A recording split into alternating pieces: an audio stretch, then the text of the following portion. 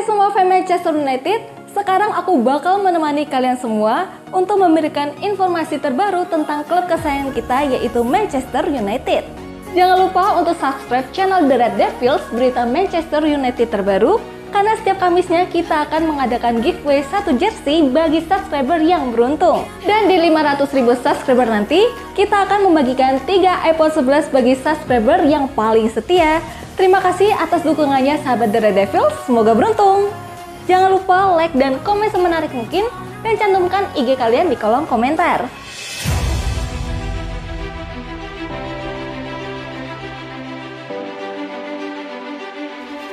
Akhirnya, Glazer jual saham MU ke investor Arab. Keluarga Glazer diyakini telah menawarkan saham di Manchester United Football Club kepada dana investasi publik Arab Saudi. Menurut The Athletic, dana kekayaan negara ditawarkan 30% dari klub dengan harga sekitar 700 juta pound sterling pada 2019. Yasir Al-Rumayan, gubernur PIF, membenarkan bahwa kelompok itu ditawari saham di klub Liga Premier. Di Inggris ada tim yang mendekati kami dengan dasar bahwa kami mengambil 30% kepemilikan dan kami tidak ikut campur sama sekali dalam hal mengelola klub seharga 700 juta pound sterling, katanya. Al Rumayan mengungkapkan tekad kelompoknya untuk mendapatkan saham besar di klub papan atas Inggris. Mengapa Liga Premier Inggris? Karena ini adalah liga terbaik di dunia. Tidak ada liga lain yang bersaing dengannya. Ada 20 tim, 3 terdegradasi, dan 3 promosi. Keuntungan dari Liga Premier adalah bahwa salah satu dari 20 tim dapat mengalahkan tim terbaik di Liga. Awal tahun 2019, putra mahkota Muhammad bin Salman dikabarkan sangat tertarik untuk mengambil alih Manchester United. Tetapi tidak ada kesepakatan yang terwujud meskipun berita bahwa sebagian besar klub ditawarkan oleh keluarga Glazer merupakan indikasi bahwa segalanya mungkin berjalan berbeda. Yang lebih menarik, ini menunjukkan bahwa kepemilikan Amerika telah mempertimbangkan penjualan untuk beberapa waktu sekarang. Sementara 30% saham ditawarkan dengan syarat tidak ada campur tangan dalam hal mengelola klub, fakta bahwa itu ditawarkan sama sekali menyeratkan melonggarnya cengkraman Glazer yang garis partainya selalu tidak untuk dijual di masa lalu. Tentu saja PIF akhirnya mengambil alih kepemilikan Newcastle United dengan harga sekitar 350 juta pound sterling. Tapi berita ini mungkin memberanikan calon penawar dalam tekad mereka untuk menggoda keluarga Glazer untuk akhirnya menjual klub. Sungguh sangat sulit datangkan Bellingham ke Old Trafford. Fabrizio Romano telah memperkirakan bahwa Manchester United akan kesulitan mendapatkan kesepakatan untuk gelandang Borussia Dortmund Jude Bellingham. Setan Merah akan mencoba tetapi akan sulit untuk meyakinkan pemain berusia 19 tahun itu.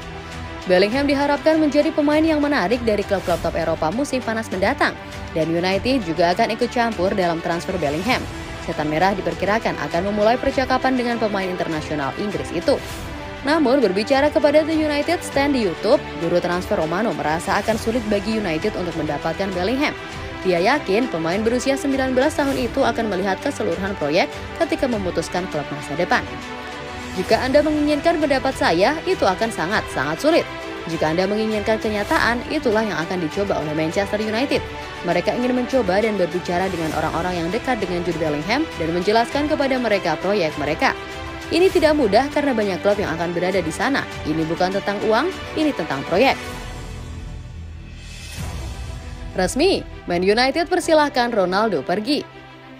Manchester United dikabarkan telah mempersilahkan Cristiano Ronaldo pergi di bursa transfer Januari 2023 mendatang. The Telegraph, sebagaimana dikutip bolasport.com melaporkan, Ronaldo semakin frustasi dengan makin sedikitnya waktu bermain di Manchester United. Sepanjang musim 2022-2023 ini, Ronaldo baru bermain dalam 8 laga Manchester United di berbagai kompetisi. Bahkan saat Manchester United kalah dari Manchester City dalam derby Manchester pekan lalu, Ronaldo sama sekali tidak bermain. Tidak hanya itu, Ronaldo juga belum mencetak satu gol pun di ajang Liga Inggris 2022-2023. Satu-satunya gol Ronaldo dicetak ke gawang Sheriff Tiraspol dalam ajang Liga Eropa 2022-2023. Padahal Ronaldo berhasil menjadi pencetak gol terbanyak Manchester United pada musim 2021-2022 lalu. Bahkan, kapten timnas Portugal itu mampu bersaing dalam daftar pencetak gol terbanyak Liga Inggris 2021-2022 dengan torehan 18 gol.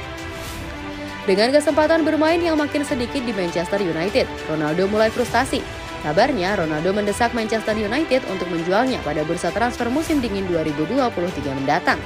Manchester United pun harus menerima kenyataan untuk ikhlas melepas Ronaldo pada Januari 2023 nanti.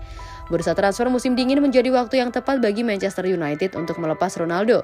Manchester United bisa tetap mendapatkan keuntungan daripada melepas Ronaldo pada musim 2023 nanti.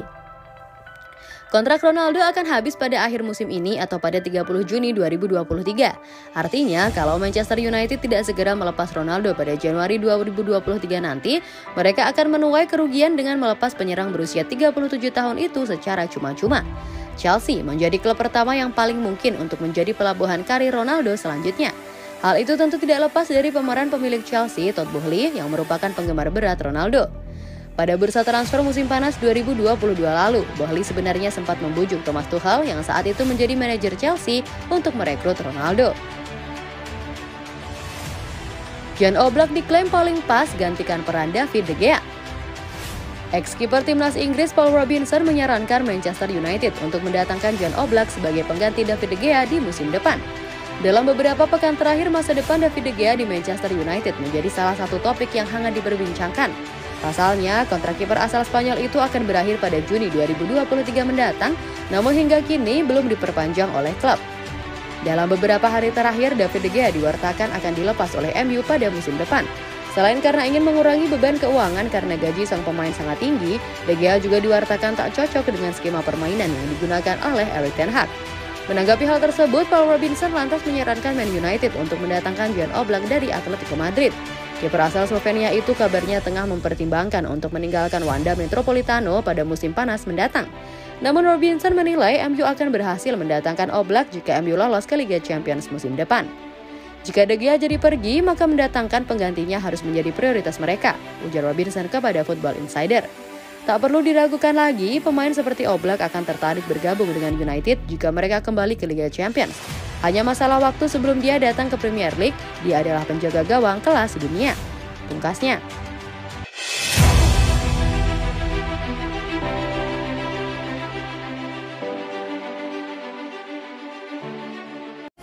Lupa like dan komen semenarik mungkin dan cantumkan IG kalian di kolom komentar.